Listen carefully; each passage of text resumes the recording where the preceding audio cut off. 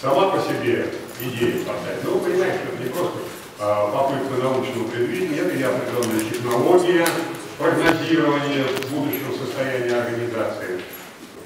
Да, разработаем стратегию, но сделаем какие-то и частные наверное, решения. И эти частные решения в первую очередь будем осуществлять для того, чтобы они в дальнейшем слились воедино в светлое будущее нашего института. А сегодня э, мы э, ожидаем, что в ближайшие, ну, возможно, пять лет произойдет достаточно быстрая и радикальная смена поколений. В этом контексте, э, конечно, вот возможность э, заглянуть в будущее, представить себе пути э, развития и университета, института, и как он чрезвычайно важен наверное, для вас. Уважаемые коллеги, упоминали сегодня о разработке стратегических документов правительственного уровня, о развитии транспортной отрасли, в целом железнодорожного транспорта. Ну и, соответственно, и компания Российские железные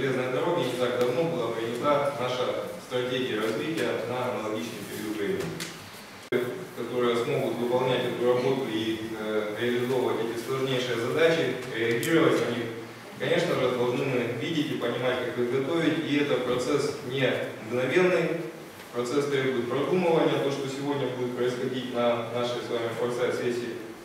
И мы уверены в том, что мы добьемся этого понимания.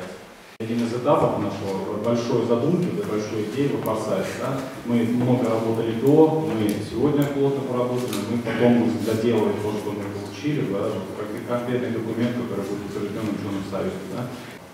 Событие действительно весьма серьезное. А, коллега уже только что отметил, что компания хочет также принять стратегию до 2030 года. Вообще, в принципе, комбинация школа-вуз, она а, правильная, она необходимая, и а, в этом направлении, безусловно, надо двигаться, потому что основу компании составляют те самые кадры, которые туда приходят. Еще что нравится, что Киев никогда не стоит на месте. Недавно, буквально в частной беседе, я разговаривала с молодым преподавательским составом и сказала, коллеги, не останавливайтесь на месте.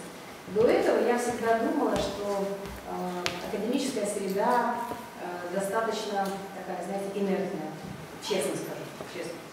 Но когда я познакомилась с этими людьми, мое мнение кардинально изменилось.